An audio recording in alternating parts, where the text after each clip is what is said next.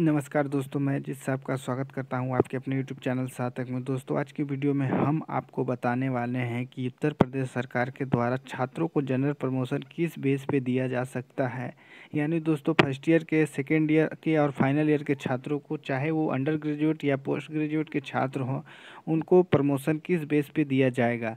तो उसी की जानकारी इस वीडियो में हम आपको देने वाले हैं। अगर अभी तक आपने हमारे यूट्यूब चैनल को सब्सक्राइब नहीं किया तो चैनल को सब्सक्राइब कर बेलाइकन को दबा दें, जिससे कि हमारे चैनल पे जो भी नई अपडेट है वो सबसे पहले आपको मिले। तो चलिए दोस्तों, वीडियो को शुरू करते हैं। सबसे पहले दोस्तों, जो प्रथम वर्ष के छात्र हैं, यानी फ़र्स्ट ईयर के छात्र हैं, चाहे वो अंडर ग्रेजुएट के छात्र हैं, उनको, उनके बारहवीं के नंबर के आधार पर प्रमोशन मिल सकता है। साथ में दोस्तों, जो फाइनल ईयर के छात्र हैं, उनको प्रथम वर्ष और द्वितीय वर्ष के पेपर का जो एग्रीगेट नंबर आएगा, उसके हिसाब से उनको जनरल प्रमोशन मिल सकता है।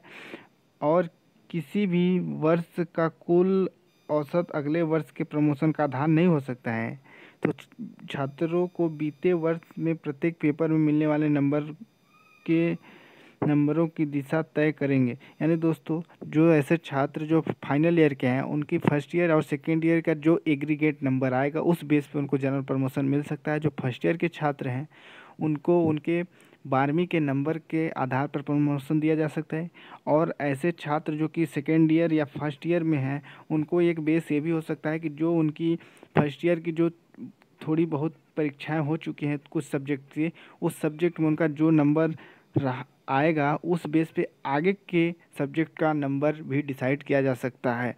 तो आप देख सकते हैं दोस्तों कि कुलपति प्रोफेसर एन के तनेजा की अध्यक्षता वाली चार सदस्यीय समिति की रिपोर्ट शासन में जमा होने के बाद आज प्रमोशन का फार्मूला तय होने की उम्मीद है। सूत्रों के मुताबिक मुख्यमंत्री खुद 48 लाख छात्र छात्रों के भाग्य की घोषणा कर सकते हैं। सभी विश्वविद्यालयों के लिए प्रमोशन की नीति भी समान होगी। चौधरी चरण सिंह विश्वविद्यालय के तीन दशमलव चौंसठ लाख स्टूडेंट की निगाहें भी आज के निर्णय पर टिकी हुई हैं।